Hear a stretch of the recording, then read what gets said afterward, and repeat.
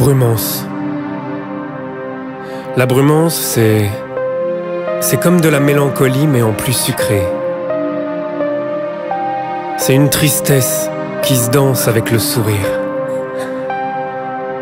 C'est un concept, un mélange bio et chimique, mi-figue, mi-déraison. C'est un timide, pas très bavard qui s'épanche pour ramasser quelque chose. C'est encore un nuage, un filtre entre ta cornée et, et la réalité. Et la réalité. Réalité. La brumance, c'est aussi un état, comme le Massachusetts. C'est. C'est difficile à t'expliquer. C'est faire de l'escalade sans rappel sur ton répondeur téléphonique. C'est un peu comme un récipient vide qui battrait son plein. Tu vois ce que je veux dire? C'est comme retourner l'histoire sept fois dans sa bouche et la cracher pêle-mêle et sans dessus dessous pour voir où on en est. La brumance, c'est un sentiment diffus.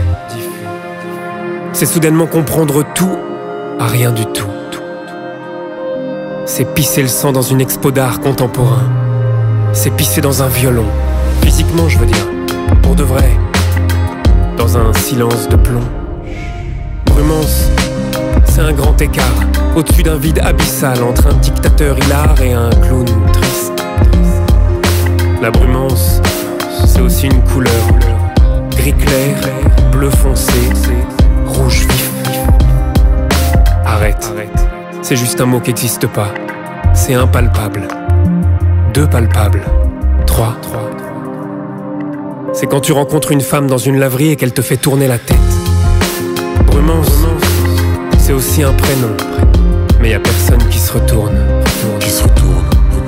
Brumance, c'est avoir 20 ans à nouveau et faire exactement pareil pour voir où ça mène. Ça mène. Brumance, c'est comme une introduction qui se termine. Brumance, c'est mourir sans souffrance, comme ça, d'un coup, d'un coup. Décapité par un samouraï sous. 抜け